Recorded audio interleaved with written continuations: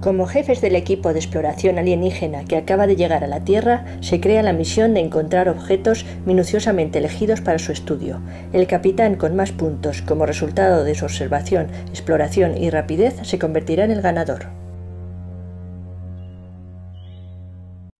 Un tablero de juego, 6 marcadores de puntuación, 6 portaplatillos, 13 cartas de misión 1 y una tapa, 14 cartas de misión 2 y una tapa, 18 platillos adhesivos y 6 platillos de misión 100% cumplida e instrucciones.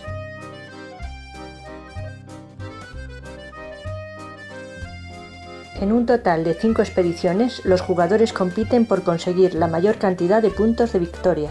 Tras colocar el tablero en el centro de la mesa, se colocan 5 cartas de misión 1 y 5 cartas de misión 2 en sus correspondientes espacios.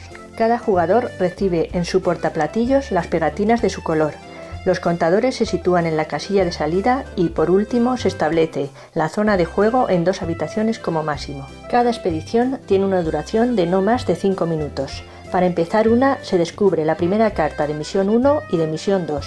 Tras esto, los jugadores buscarán objetos que encajen con las descripciones de las cartas. Un platillo puede colocarse sobre un objeto que cumpla una o las dos condiciones. Cuando un jugador haya colocado sus tres platillos, podrá situar su pegatina Misión 100% cumplida en la primera casilla vacía del tablero. Cuando todos hayan colocado esta pegatina o cuando se haya agotado el tiempo, se procederá al recuento de puntos. Cada jugador sumará tantos puntos como indique su casilla de bonus. Además, cada platillo situado sobre un objeto que cumpla las dos condiciones de misión otorgará tres puntos. Aquellos que solo cumplan uno darán un punto. Las casillas Moon Boost permitirán avanzar tantas casillas como marcadores haya delante.